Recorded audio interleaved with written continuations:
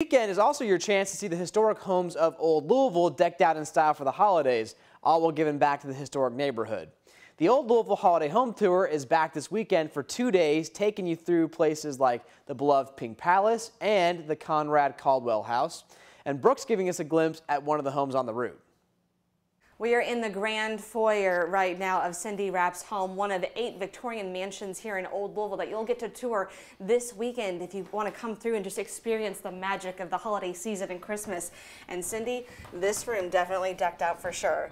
Talk about the decor and maybe the themes that you have to decide on. Okay, well, um, it's a mix of everything. It's part whimsical. I have a Grinch tree upstairs and a Grinch taking a bath in the bathtub. different. And then uh, you can see kind of more formal rooms that have you know, traditional uh, Christmas decorations. And every single room yes. has some type of theme and, and decoration to yes. it.